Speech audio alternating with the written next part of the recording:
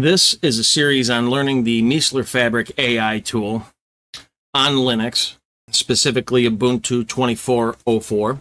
It's not the newest version of Ubuntu desktop, but uh, 24.04 is something that most people are likely to have that are on Ubuntu already or are transitioning from Windows either exclusively or dual booting as they get used to things. And so the MFab, the, the Miessler Fabric AI tool, it's, it's, it's a pretty powerful AI interfacing tool. And by that, I mean it's a tool for interfacing with LLMs or the buzzword AI, interfacing with AI. What that specifically means is, in this case, uh, large language models. And so, one of the reasons for this series is the problem inherent in not just newcomers, although for the most part newcomers, but people that are familiar with the terminal and they still kind of get confused, like myself, they still kind of get confused looking at a GitHub repo and knowing what they can get out of it. And so the, the Fabric GitHub repo has a lot in it that, to, to give you. And it's it might not be readily apparent if you're not very comfortable in GitHub space. And so, one of the things that you'll learn by using something like the uh, fabric is understanding how to interface with LLMs. And that can be overwhelming for people. You know, the, the chat bots, the chat interface for, in, you know, dealing with LLMs and AI it's not the only way to interface with these things. In fact, it, it might not even be the best way. You know, if we just jump into a couple things here, we're going to be dealing with getting Fabric installed, and there's a couple ways to do it. So the GitHub repo is a place you're going to want to be familiar with, which is just github.com slash Daniel Miessler slash Fabric. There's a couple different ways to install navigate down the, the what I call the basic or the simple install is installing the binaries pertinent to each system. And you know, for Ubuntu, it would be this one here. If you have a different system, you know, the, you'd have to copy the bash script, the bash install script for whichever one applies. So, and we'll have a video that gets into that. The other thing that we want to cover in the series is using the prompts. You know, not just in the Fabric tool. If you're not, if you just have no use for the terminal, if nothing else, you can take away from this whole project right at the top of the GitHub repo. You would click on patterns, and it, you know we'll be installing the patterns on the system so that they're much more accessible or more easily accessible. But these patterns, just getting in and using these. For instance, you know, if, if I open up ChatGPT and I want to use one of these, let's say I want to use, we'll use the summarize pattern. And so we go into the directory called summarize. That's the name of the pattern, and all of the patterns are in the system.md file. So we'll go in here, we'll just copy this, go into chat GPT. Now we can put it in the system prompt. There there are ways to do that. You know, you could go to settings. You could put it in here in the customized chat GPT. This will send things, in, I believe, into the system prompt. But just using the patterns, if we paste this in, copy this, paste it into chat GPT, so now that pattern is inserted at the top of our input window. And if we went, let's just get some content from somewhere, right? Like, so we're on one of Daniel Miessler's pages at danielmiessler.com. And let's just copy some of this text. And if we would just want a summary on that text, we can paste it in here. So now it has the article or contents of that page as the input. And before that, which would normally be the system prompt, if you're using the fabric tool or if you went in through some settings, you could insert this. But the, this will accomplish the same thing for demonstration purposes. You can see this first part is on up is the pattern, and from input on down, the, that's the text content from the website that we copied it off of. And so we get our typical summary output based on the instructions in the pattern. So if you if you do nothing else, you should be taking away from this whole project using these crowdsourced patterns. If you do nothing else, start using these to use AI and even ChatGPT differently. Moving on, using the the CLI tool is one of the next things that, that we should cover real quick, just as a simple demonstration. Use just a, a quick series of these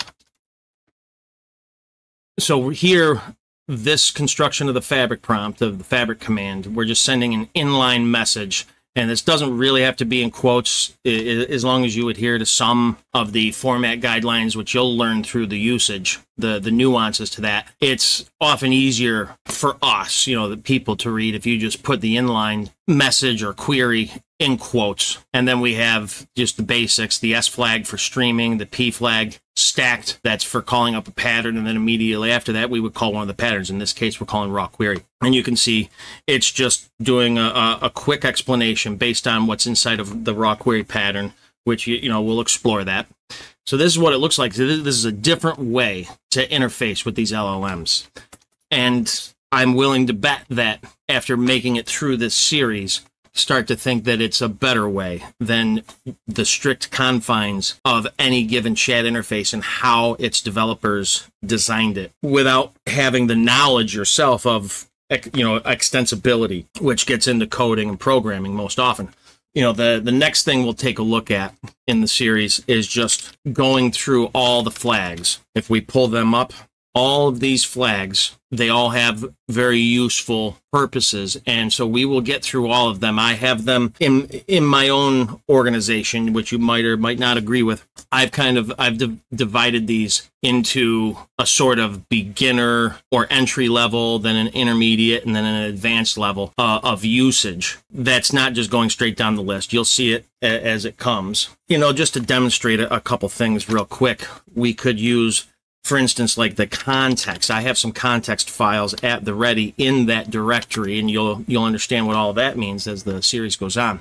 But these are uh, like the MFab README. That's just the README in the Fabric repo. Right? The MFab README is just the full README, and then I broke it up into its roughly main nine sections, each section individually in, it, in its own file, all within the context directory. So we can take a look at how these things work. So we'll just do a summarize pattern on the section one of the MFab README.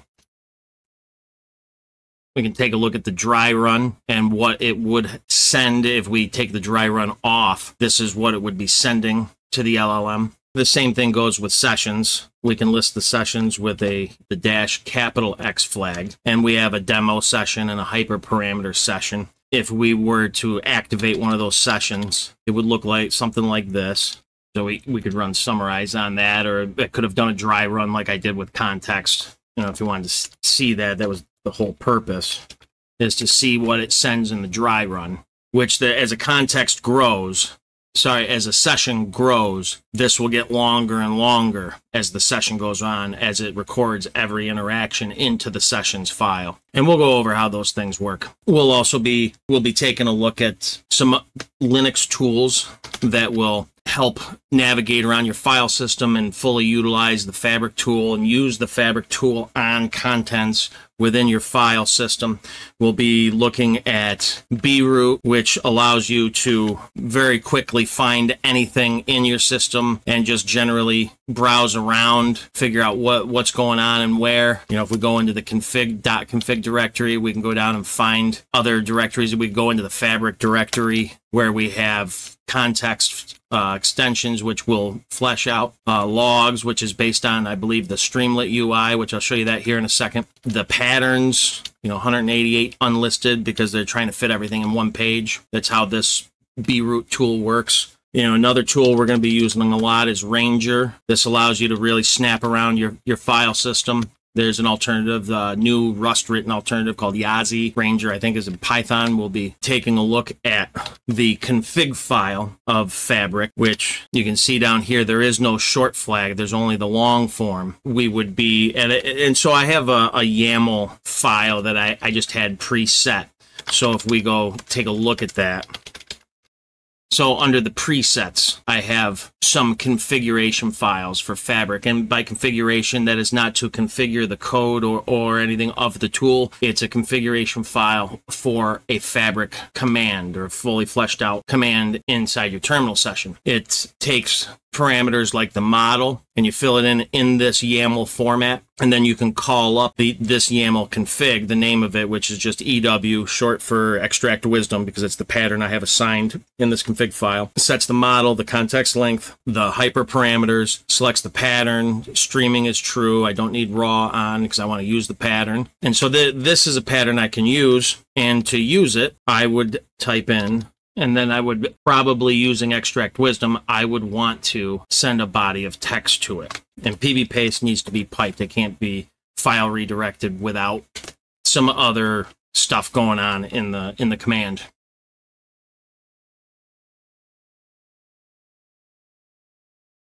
And so we're running extract wisdom on all of this text over here from Daniel Miessler's site. And so that's how a config would work. And we can make that easier with aliases. You know, if we did the, the PB paste and if we had all of this, the fabric dash dash config and then the location of the config. Let's say that we had that alias to F for fabric and EW for extract wisdom. We could shorten our command down to PB paste pipe few. FEW. And the same thing, if we had that alias set up, that that would these are the things that you can do to really you know, PB paste, pipe few, and then you copy a ton of stuff. You don't need to co- paste it into anything. You just have it copy your clipboard, and the PB paste tool will gather that from the clipboard and pipe it to your fabric command, which can be shortened down to just a, a few keystrokes. So you can start to see how this really takes off with with efficiency, things like that. We'll be getting into the extensions and what those what those do, how to set up an extension, you know, how to build one, then how to register it, how to remove them. There's also plugins that are kind of they, they have the same template really as the extensions and they kind of they take uh, some go coding so I'll, show you those but it, it's up to you if you're into and you have that skill set then absolutely if it's something you want to do, but the extensions are a much easier way to gain the sort, the same sort of uh, extensible functionality that you can add on your own. You know, we'll get into all of these things, and then naturally, as I'm sure you know, a lot of you that I that I talk to on a on a weekly basis, you're interested in, in asking about the GUIs and how do you even find those or set them up, and we'll we'll get on the into those things too you know, for instance, where I have, and we'll do all this from scratch, where I had the fabric repo already cloned down to the system, and I moved, to, there was a streamlit.py file right here. This used to be in the directory one back. And so I just moved it into a, a pattern studio because that's what it's called when you open it to show you what this looks like. We'll get into the pattern studio and hook it up, look at the navigation views, you know, running the patterns where it has all of the patterns here. Pattern management, this is a place to create new patterns of your own, to edit existing or delete any. The analysis dashboard is after you've run a few things and this has some history to it. You can analyze and compare different models, responses, things like that. That, that's kind of what that whole thing does, and that's what it looks like. And if you wanted to take a look at the web UI, we can spin that up for a quick look. So taking a look at the web UI, this is a pretty well done project. There's Network Chuck. There's a lot of things you can build out. They have a lot of templates for you to start a lot of different sorts of projects. I believe you can launch this as your website and use it as a, a blogging site, uh, anything that, that you can really think of, and, and they can get you started with a lot of these templates here. And then there's also a UI for you know like a chat interface, but a little bit better done than your standard chat and you would import if you fire up a fabric server in another window in, in another terminal session then i believe this connects to it and you really start to get a this is a good visual one to a good ui to use here a, a graphical user interface whether you're here to get started from scratch or if you're looking for a, a specific place to jump in if you're looking for a specific piece to the puzzle, you should be able to find what you need as I break the videos apart into small chunks of single tasks or showing a single feature or a single set of flags. You should be able to jump to what you need if you're if you're not looking to to learn from scratch, you know, how to get into the Linux file system and use this tool in that environment. So you can watch the playlist in order if if you're a from scratch type of person in this scenario or jump to what you need.